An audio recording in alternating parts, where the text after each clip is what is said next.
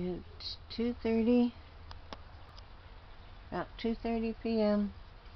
Monday, Martin Luther King Day. It's about 52 degrees out here.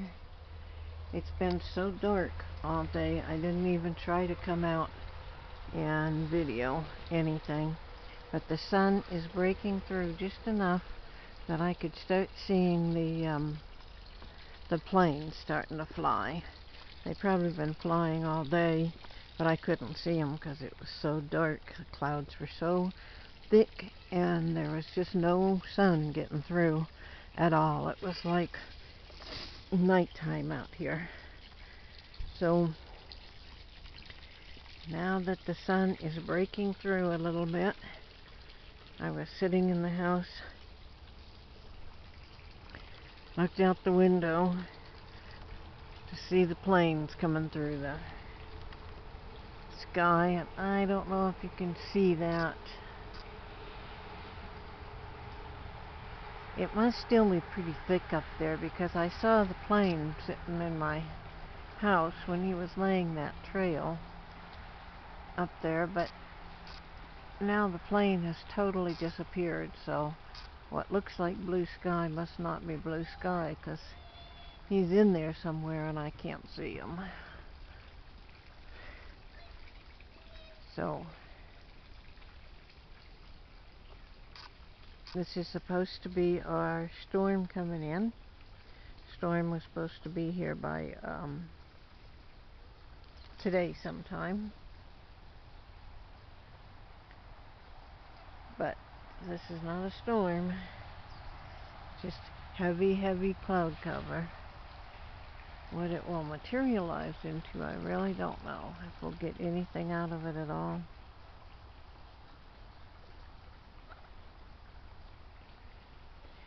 It is nice to see a piece of the sun pop out.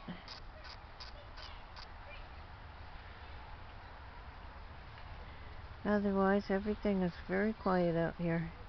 Animals are just kind of laying around, not doing much.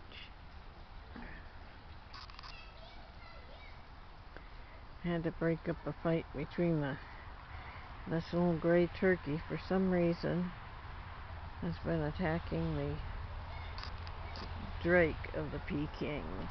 I don't know what his problem with that one is, but maybe this gray turkey is a tom. I'm so anxious to find out if I've got a tom. All three of the larger turkeys are all laying eggs, so those three are definite females. This one, which I was hoping was a male, just laid an egg the other day. So, egg laying means it is definitely not a tom. So, such is life. Don't see any more planes coming out. Maybe they're done for the day. That sure would be nice. I think what they've been doing is mostly laying the stuff down at night and really early in the morning. So you don't see them. It's so thick. You get up in the morning and the clouds are just really thick. There's nothing, uh, there's nothing to see because even the, the planes that are laying the, um, oh, the trails um, they're done by the time the sun starts coming up. So there's nothing to see or else they're back in the clouds so deep that we can't see them from the ground.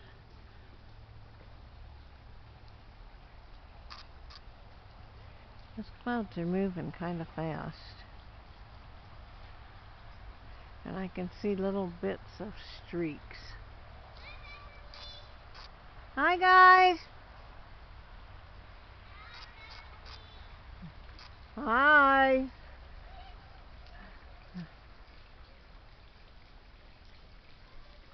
Looking off towards the north, it is pretty gray over there, so let's have to wait and see how things go.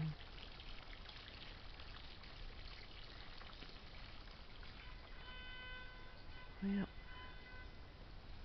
I guess I'll give it a break. I may come back out here. I am starting to see more lines through this puffy white stuff coming towards us.